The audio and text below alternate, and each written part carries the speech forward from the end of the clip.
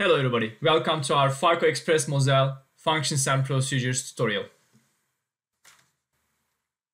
Functions and procedures are small, reusable pieces of your logic, which is useful in reducing your code length, creating a more readable, maintainable, and better organized code base. Let's first take a look at this function get day of week. Function declaration starts with the keyword function, then the function name comes, and in parentheses, we provide a list of parameters we'll be passing into the function. Then the semicolon and the type that the function will be returning. Return keyword stores the value the function will be returning. Within a function, we can have declarations. These declarations will be local to the function and cannot be used outside of the function. In this getDayOfWeek function, we are taking a date object as an input and we are returning the day of week for that date.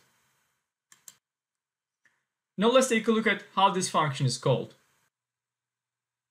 In this example, we are creating a date object today. We are populating it and we are calling the week function by passing in the date object today. And as a result, we are creating the string saying today is the day of week.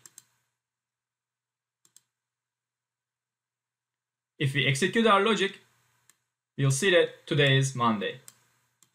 In Xpress Mosel, functions can be overloaded. This means you can use the same function name for more than two functions, as long as they have different inputs. The only difference between these two functions, this function is taking a string object as an input, whereas this one is taking a date object. And after taking the string object as an input, this one is converting it into a date object and calling the previous one. As an example, let's call that getDayOfWeek function by passing in a string parameter.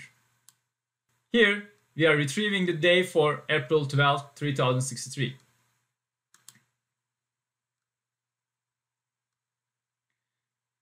And it is Sunday. Procedures are very similar to functions. The main difference is procedures do not return any value. Print my first and birthdays procedure takes my birthday as a string input and n as an integer. It stores my birthday in a new date object and in a for loop it iterates it by one year in every iteration and prints out the day of the week. Let's call this procedure by passing in my birthday and n is equal to 36.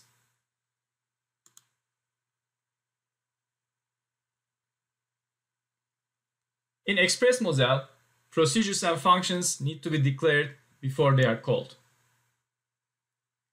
For example, if we have this procedure call before the procedure declaration, and if we try to run it, this will give a compilation error. To overcome this issue, we will need to put the procedure declaration line before the procedure call and put the forward keyword right in front of it.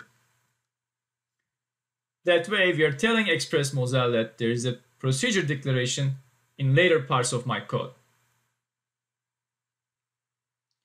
Thank you for watching our Xpress Mosel Functions and Procedures tutorial video.